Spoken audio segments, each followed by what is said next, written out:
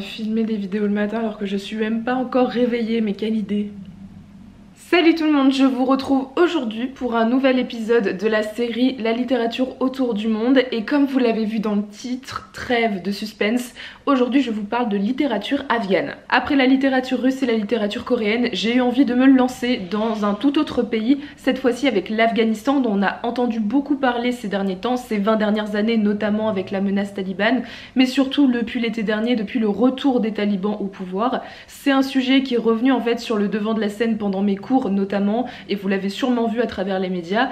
Et je me suis dit que ça pouvait être intéressant de découvrir la littérature de ce pays dont on entend parler de manière assez négative régulièrement, et de découvrir des auteurs et des autrices euh, afghans et afghanes. J'ai donc fait une sélection de trois bouquins, je les ai déjà tous lus, donc je vais enchaîner aujourd'hui mes avis. Vous n'allez pas avoir mes avis à chaud parce que malheureusement par manque de temps, je n'ai pas pu à chaque fois filmer mon petit avis à chaud à chaque fois que je terminais un des bouquins, mais j'espère quand même que la vidéo vous plaira. Pour vous rappeler rapidement le concept de cette série, l'idée c'est que je sélectionne trois livres autour de la littérature d'un pays en particulier. Souvent il s'agit de deux livres de fiction et d'un livre de non-fiction. J'essaye souvent de trouver des livres qui ont été traduits en français et qui sont disponibles en poche pour une majorité afin que ce soit plus accessible pour vous. Et donc je vais vous présenter ma sélection aujourd'hui. J'avais déjà deux romans euh, dans ma pile à lire euh, d'auteurs et d'autrices afghans et afghanes donc j'ai évidemment euh, récupérer ces deux bouquins dont je vous ai déjà parlé dans d'autres vidéos notamment pile à lire. Le premier s'agit de La perle et la coquille de Nadia Hashimi ici aux éditions Milady et le deuxième roman que j'avais dans ma pile à lire il s'agit de The Kite Runner de Khaled Hosseini donc les cerfs-volants de Kaboul en français aux éditions ici Bloomsbury mais il est aussi sorti en poche et le troisième donc est le livre de non-fiction que je n'avais pas et ici que je n'ai pas trouvé en fait en poche parce qu'il n'est jamais sorti en poche mais il m'intéressait beaucoup et il est assez euh, accessible en occasion pour peu cher. Il s'agit de Cacher sous mon turban de Nadia Goulam, euh, ici aux éditions L'Archipel si je ne me trompe pas. En tout cas ça fait trois livres que j'ai lus euh, d'auteurs et d'autrices afghans et afghanes et dont je vais vous parler aujourd'hui. J'ai commencé donc cette plongée dans la littérature afghane en lisant La perle et la coquille de Nadia Hashimi, donc aux éditions ici Milady. Dans ce bouquin, on va suivre en fait deux histoires en parallèle. On est à Kaboul en 2007, mais aussi au début du 20e siècle. On va suivre le destin de euh, Raima, dont euh, le père est malade et les sœurs ne peuvent pas sortir en fait de euh, chez elle, en tout cas ne peuvent pas avoir accès à une éducation. Et Raima, qui est une jeune fille de 10 ans, va devoir donc se travestir en garçon pour pouvoir accéder à un petit travail, pouvoir aller faire des courses pour sa famille, etc. Et elle va utiliser ce qu'on appelle la tradition du batchapoche, donc qui est cette idée de se travestir quand on est une jeune fille en jeune garçon afin de pouvoir euh, aider sa famille. Euh, et en parallèle de ça, on va suivre en fait le destin de son arrière-arrière-grand-mère, un truc comme ça, une ancêtre euh, qui s'appelle Shekiba, qui, qui a donc vécu au XXe siècle, au début du XXe siècle, aussi à Kaboul et qui a donc vécu d'autres choses assez différentes, mine de rien, mais elle a aussi euh, dû euh, se transformer en homme afin euh, de répondre à ses besoins et à ceux de sa famille. et on va suivre en fait en parallèle ces deux histoires qui vont dépeindre la condition féminine en Afghanistan et j'ai trouvé ce roman absolument incroyable. Honnêtement, avec du recul, je pense que c'est un coup de cœur. c'est un livre qui m'a totalement transporté dans la société afghane au début du XXe siècle mais aussi au début du 21e siècle. J'ai énormément aimé ce parallèle. J'ai mis un peu de temps à rentrer dans l'histoire, à m'attacher au personnage, au personnage de Raima qui est quand même une jeune fille qui se transforme en garçon et qui va donc jouir de toute cette liberté auquel elle n'a jamais eu accès. Euh, j'ai beaucoup aimé le personnage de Shekiba aussi et même si je suis pas une fan habituellement euh, de ces histoires un peu parallèles, euh, ici j'ai trouvé que ça fonctionnait absolument bien, c'était parfait honnêtement. Même si ce sont des personnages qui qui ont des points communs et qui utilisent mine de rien la même tradition et qui ont des similarités au niveau de l'histoire. Plus on avance et plus l'histoire évolue et plus les histoires se détachent et on a en fait voilà ces différents portraits de la condition féminine à différentes époques avec différents euh, systèmes politiques et euh, différentes histoires qui se sont passées entre temps. Euh, du coup c'est extrêmement intéressant parce qu'en plus d'avoir des personnages qui sont particulièrement forts, une intrigue qui se lit toute seule. Honnêtement, déjà l'alternance des chapitres fait que bah, on a un rythme en fait dans les histoires. On a envie de retourner à chaque fois et de savoir ce qui se passe pour les deux histoires. L'autrice, elle a très très bien géré son rythme. J'ai trouvé qu'il y avait pas mal d'action pour un roman historique, euh, qu'on ne s'ennuie pas. Et pourtant, on découvre vraiment aussi la société afghane. Et c'est ça que je cherchais un petit peu avec cet ouvrage et avec les ouvrages de cette vidéo de manière générale, c'est d'en savoir plus en fait, tout simplement sur la société afghane. Ici, en l'occurrence, la condition féminine, mais le système politique, les traditions, la culture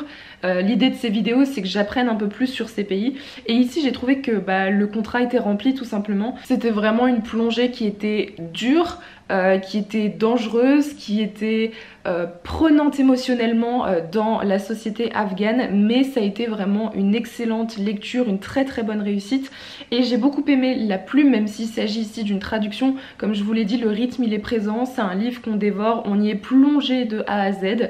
en tout cas voilà, ça a été une excellente lecture. Je mets quelques trigger warnings quand même parce que ici on parle de la condition féminine, donc vous vous doutez bien qu'on parle euh, notamment euh, d'agression sexuelle. On parle aussi de violence, puisqu'on est dans des systèmes politiques qui le sont particulièrement envers euh, les personnes dissidentes qui sortent un peu du chemin qui leur est tracé pour eux. donc il y a quand même quelques trigger warnings, c'est pas une lecture qui est simple, loin de là. voilà, et c'est pas forcément que envers les femmes, mais aussi envers les enfants. donc je préfère vous prévenir. Et si vous êtes assez sensible sur ces sujets, honnêtement, je ne vous le conseille pas mais si cela ne vous dérange pas ou que vous avez envie de vivre des émotions fortes durant une lecture, je vous invite sincèrement à découvrir cette histoire.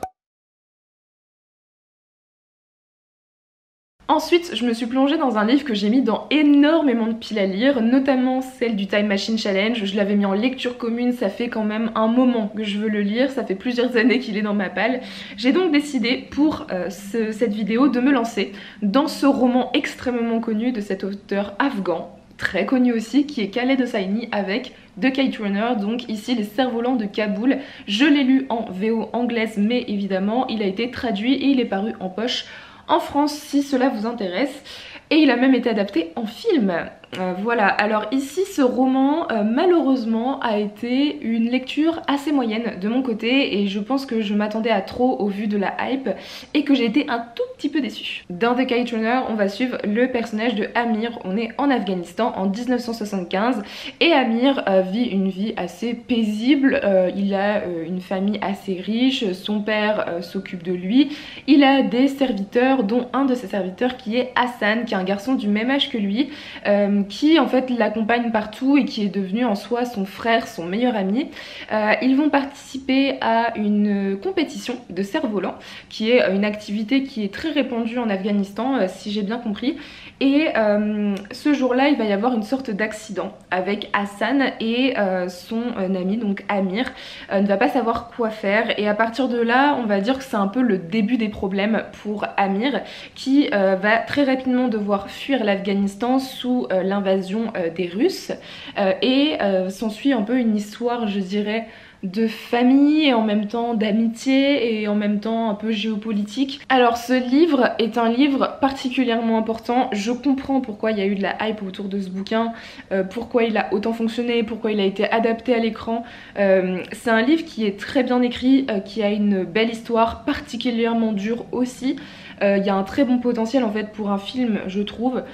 Par contre, je n'ai malheureusement pas accroché avec le rythme, je n'ai pas accroché avec le personnage principal et je ne sais pas si c'est la période à laquelle je l'ai lu ou si c'est parce que j'ai enchaîné toutes ces lectures sur l'Afghanistan qui sont assez dures euh, et que bah, il aurait peut-être fallu que je les enchaîne pas mais j'ai pas forcément autant accroché à The Kite Runner que euh, La Perle et la Coquille par exemple. Euh, ici on va suivre quand même ce personnage de Amir qu'on suit à partir de ses 12 ans jusqu'à environ ses 40-50 ans et c'est un personnage auquel j'ai pas réussi à m'attacher autant le personnage de Hassan qui est son meilleur ami je l'ai beaucoup apprécié je l'ai trouvé très intéressant et je trouve ça dommage qu'on n'ait pas plus développé en fait son, son personnage euh, mais le personnage de Amir qui est notre personnage principal et en soi c'est un peu le seul personnage qui est extrêmement développé en fait dans cette histoire j'ai eu du mal à m'accrocher à lui euh, parce qu'il a un caractère très particulier c'est un garçon qui dès le plus jeune âge est très très privilégié qui s'amuse bah, en fait des handicaps des défauts des autres et qui a du mal en fait à se mettre à la place d'un proche se mettre à la place d'une autre personne et qui agit un peu sur le moment sans trop réfléchir. Alors quand on est j'ai envie de dire, ça peut se pardonner entre guillemets euh, parce que tu apprends, parce que c'est l'expérience, parce que euh, t'es encore jeune. Mais en fait, quand il fait ce genre de choses alors qu'il a encore 40-50 ans, ça me dérange parce que j'ai l'impression de pas forcément voir une évolution du personnage. évidemment, il a vécu des choses difficiles, mais il n'empêche que la maturité bah, aurait pu s'acquérir à un moment donné. Et euh, quand j'ai vu qu'en fait au niveau de l'évolution du personnage, j'avais l'impression qu'il avait encore des réactions de gamin de 12 ans, notamment par la suite. Euh, et j'ai pas trop réussi à accrocher à cette personnalité. Euh, j'avais envie de le secouer à de multiples reprises, euh, ce qui est, je pense, pas voulu par l'auteur à la base. et j'avais envie, en fait, tout simplement lui ouvrir les yeux sur la situation dans laquelle il vivait, le privilège qu'il avait eu en Afghanistan. Et même si, évidemment, il a migré aux États-Unis face à l'invasion russe, ce qui est un drame, euh, quand il est revenu en Afghanistan, euh, par la suite, il revient en Afghanistan à un moment donné dans cette histoire. Et j'ai l'impression qu'il voit ça avec un regard tout à fait extérieur, comme s'il avait jamais vécu là-bas, comme si euh, il avait peu de racines en fait dans ce pays. et c'est très particulier honnêtement. du coup, j'ai pas trop apprécié ce personnage parce que j'ai pas réussi à accrocher à sa personnalité. Le rythme, j'ai trouvé ça un peu long, j'ai trouvé qu'il se passait pas grand chose dans cette histoire. Alors est-ce que c'est voulu ou pas, je ne sais pas. En tout cas, ça n'a pas été euh, un rythme et une intrigue qui m'a suffisamment prise au trip. Il y a des passages très intéressants, encore une fois des trigger warnings parce qu'il y a pas mal de violence dans cette histoire, euh, mais c'est pas non plus le livre qui m'a tenu en haleine du début à la fin. Il y a des chapitres que j'ai dévorés et d'autres pas du tout, du coup j'ai eu un peu de mal à rester dans l'histoire vu que le rythme était un peu en dents. Euh, et je l'ai aussi lu en anglais, donc est-ce que ça peut être dû aussi au fait que bah, je ne comprends pas exactement 100% des mots qui sont euh, dans ce bouquin, peut-être honnêtement. Après je commençais à avoir un peu l'habitude de lire en anglais donc j'ai quand même eu des coups de cœur sur certains livres en anglais ça ne l'a pas fait avec celui-là. Après, je ne suis pas fermée à lire d'autres livres de l'auteur. Peut-être que c'est juste les personnages ici qui m'ont dérangé, l'intrigue, mais peut-être que d'autres livres euh, me plairont davantage. Euh, mais je suis quand même contente de l'avoir lu parce que ça fait un bail que j'avais envie de le lire, de le découvrir et de connaître enfin l'histoire derrière euh, Les Cerfs-Volants de Kaboul. Ouah, je suis une pipelette 18 minutes pour deux livres, mais c'est pas possible ça. Et enfin, on va terminer cette vidéo et cette plongée dans la littérature afghane avec un livre de non-fiction euh, que j'ai eu un peu de mal à trouver parce qu'il n'y a pas tant de livres de non-fiction qui ont été écrits par des auteurs et autrices afghans et afghanes euh, pendant ces dernières années euh, et traduits en français surtout. Et c'est pour ça que je n'ai pas trouvé de livre en poche mais en grand format. Mais comme je vous l'ai dit, il est assez accessible en grand format en occasion si, ça vous intéresse parce que moi je l'ai acheté en occasion aussi.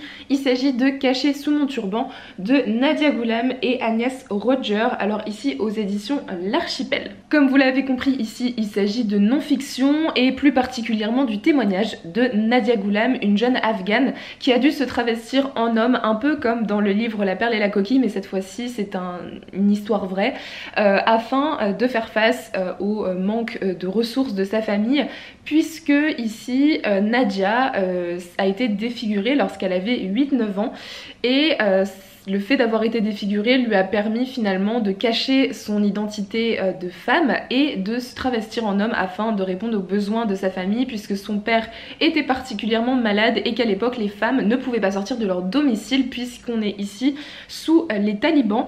Et donc Nadia va raconter un peu les 10 ouais, la dizaine d'années euh, dans laquelle elle a vécu dans la peau euh, d'un homme et euh, tout ce qu'elle a pu voir en fait du point de vue d'un homme mais en étant finalement une femme. J'avoue que je partais avec pas mal d'espoir pour ce livre puisque en sortant de The Kite Runner j'avais eu cette impression de ne pas en apprendre énormément sur l'Afghanistan et je me suis dit ici c'est un témoignage avec un personnage qui n'a pas voyagé et du coup qui peut quand même nous apporter beaucoup de choses. J'ai appris pas mal de choses quand même sur l'Afghanistan, sur la politique, sur les talibans. Après, j'ai pas forcément une excellente lecture avec euh, cet ouvrage. Ça a été une bonne lecture, je regrette absolument pas d'avoir lu ce témoignage parce que encore une fois ça m'a appris beaucoup de choses euh, sur euh, la situation là-bas, sous les talibans notamment, sur les traditions, sur les choses qui ont été imposées, la manière de voir la religion et de l'interpréter. et j'ai trouvé ça quand même très intéressant, c'est très instructif en fait de manière générale. Après j'ai eu du mal à accrocher avec le, la personnalité de Nadia. Euh, c'est un personnage, c'est une jeune fille qui euh, finalement n'a pas eu le temps de grandir et qui se voit transportée dans un monde particulièrement violent. Euh, on lui demande de se travestir, donc de changer d'identité, de changer de caractère, de personnalité à, à, un très très jeune âge. Et en fait finalement on a, j'ai pas eu cette impression à un moment donné d'avoir affaire à une fille mais plutôt à un garçon pendant toute l'histoire. Parce qu'en fait vu qu'elle s'est travestie très très jeune finalement elle n'a pas vraiment pu développer sa personnalité entre guillemets de fille, euh, c'est-à-dire euh, juste une peut-être une personnalité euh, éventuellement un peu plus empathique, un peu moins proche des talibans, peut-être un peu moins violente. Et là, elle a été plongée dans un monde violent, elle a dû faire face à de nombreuses difficultés. Et du coup, c'est très très particulier de lire son point de vue, c'est assez inédit et original finalement. J'ai eu un peu de mal, je pense, à accrocher à ce personnage, à accrocher à sa personnalité, parce que c'est pas un personnage, mais accrocher à sa manière de penser parce que forcément vu qu'elle est jeune elle se fait très vite euh, embrigader en fait dans un système de pensée euh, à l'époque qui est assez extrême euh, par les talibans notamment et elle se cache, elle a peur en permanence qu'on découvre qu'elle est une femme, elle doit faire, enfin répondre à toutes les difficultés de sa famille. Et du coup ça en fait une personne qui est très renfermée sur elle-même et j'ai eu du mal à accrocher avec elle parce que mine de rien, il y a des moments où elle avait des accès de violence euh, qu'on retrouve en fait bah, de manière générale chez les hommes euh, et euh, qui était particulier à lire du point de vue d'une femme en fait tout simplement. J'ai été assez perturbée parce que elle avait des paroles et un manque d'éducation entre guillemets quand elle était plus jeune parce qu'elle en soi n'est jamais allée à l'école quand elle était plus jeune. Elle y allait au fur et à mesure mais pas tout de suite et je trouve que ça se ressent en fait. Elle a un esprit qui est très renfermé sur lui-même et très très fermée hein, euh, dès le début. Et en fait, plus on avance et plus elle s'ouvre et plus elle se rend compte des choses, de ce qui se passe, on lui apporte de l'aide, etc. Et, plus on voit un peu une évolution du personnage. Mais du coup, sur une grande partie du, livre, c'est très particulier de la suivre parce qu'on a un peu ce dédoublement de personnalité qui aussi dédouble notre avis et euh, on a des moments qu'on apprécie et d'autres beaucoup moins. Donc voilà, c'était très particulier, mais j'ai beaucoup aimé son histoire parce qu'elle est particulièrement intéressante. Le fait qu'elle se soit travestie en homme lui a permis d'accéder à des pans de la société auxquels elle aurait jamais eu accès en tant que femme. Euh, elle a pu notamment aller à l'école, même si elle y est allée en tant que femme.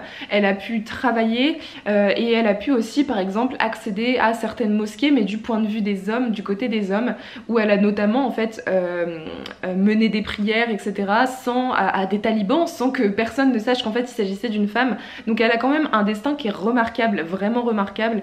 elle a réussi en fait à survivre dans une société qui bridait totalement les femmes et ça c'est absolument incroyable. Elle est assez impressionnante mine de rien cette femme. Euh, mais ça reste quand même très particulier à lire j'ai trouvé. Est-ce que la traduction y est pour quelque chose ici? C'est possible parce que je l'ai trouvé assez simple, j'ai trouvé que elle était peut-être un peu trop simplifiée en termes de traduction euh, au niveau euh, de l'écriture. Après, Nadia Goulam n'est pas une autrice. Elle raconte ici, c'est son témoignage, donc c'est pas forcément une plume digne de l'Académie française. Mais je trouve que je pense que cette plume elle m'a mis un peu une distance aussi parfois au niveau de l'histoire. En tout cas il y a un très bon rythme, ça se lit tout seul si vous voulez lire un témoignage qui n'est pas très long, qui est très particulier, qui a le mérite d'être original, inédit et qu'on a peu finalement euh, dans ce monde, euh, c'est euh, de lire ce livre, hein, je vous le conseille vraiment. je pense que c'est quand même un très bon titre si vous voulez avoir un aperçu dans la non-fiction de la condition féminine en Afghanistan. Voilà tout le monde, je vous ai présenté mon avis sur ces trois livres. Euh, ça a été une très bonne expérience de lire ces livres sur la littérature euh, afghane. Euh, c'était une plongée dans la société afghane qui était plutôt intéressante. J'ai appris pas mal de choses sur leur histoire, leur tradition, leur culture et ça j'ai adoré. Ça m'a permis notamment de découvrir Nadia Hashimi qui est quand même une autrice je pense que je vais garder un peu dans mes petits papiers et je me ferai un plaisir de lire d'autres ouvrages de cette autrice. Je vous recommande quand même les trois livres qui ont été quand même des bonnes lectures dans l'ensemble. Je ne vais pas vous mentir, ça a même été des lectures assez dures parce qu'il y a beaucoup de sujets qui sont particulièrement euh, violents en fait dans ces histoires. Euh, je ne les recommande pas non plus à tout le monde si vous êtes assez sensible sur pas mal de sujets comme les violences faites aux femmes, comme juste les violences de manière générale. Si euh, juste le fait de parler de talibans vous apporte du stress, ne vous lancez pas en fait dans ces livres. Mais si c'est des choses qui vous intéressent, si vous êtes curieux et curieuse vis-à-vis de, de ce pays dont on parle beaucoup et de découvrir pas forcément forcément qu'un aspect négatif de ce pays, mais aussi tout un aspect culturel euh, qui est très intéressant. Je vous invite quand même à les lire. Mais je vous avoue que maintenant que j'ai terminé ces trois livres, je vais me replonger dans de la fantaisie, histoire d'apporter des lectures un peu plus légères à cette chaîne et aussi pour moi, juste pour mon plaisir personnel. J'espère sincèrement que cette vidéo vous aura plu. N'hésitez pas à me donner le prochain pays que vous aimeriez voir euh, pour cette série. Moi j'en ai noté quelques-uns de mon côté mais j'aime beaucoup lire vos recommandations. En attendant, je vous souhaite de très bonnes lectures et je vous dis à très bientôt dans une prochaine vidéo. Bye